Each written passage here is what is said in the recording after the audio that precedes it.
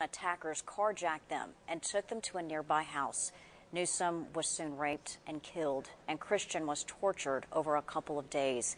Now, 37 year old Lemaricus Davidson faces the death penalty for his lead role in the crimes. Today, he appeared in court to try to throw out his trial and sentence. It's unfair. Davidson is getting another hearing when his daughter got no second chance. Please,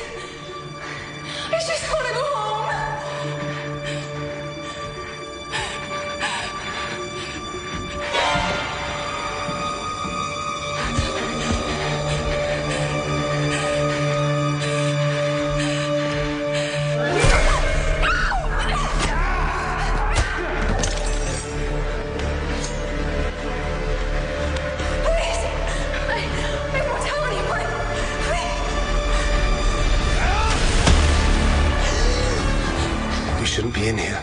Alyssa. That's my brother Timothy. His lovely wife, Susan. Charmed. That's such a lovely gown. Oh, thank you so much. She took the tablet and she won't give it back. And it's my birthday. This is precisely why we hid you away in the first place. I'll kill you! I'll kill you! Alyssa, where are you? I don't really know where I'm, okay? Jack, he took me to this castle. What? I'm in England, and I. I found a.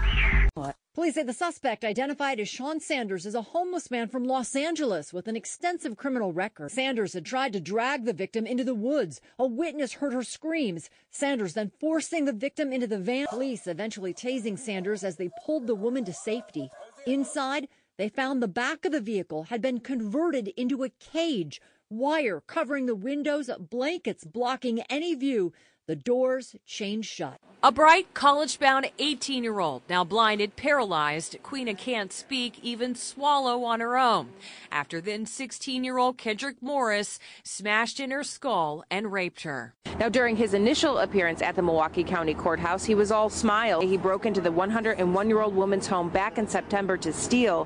When he found nothing, he beat and raped her. Williams knocked her to the ground here on Corning, pulled down her pants, got on top of her, and began choking and biting her. Williams is accused of vandalizing the property of two women who refused to go out with him.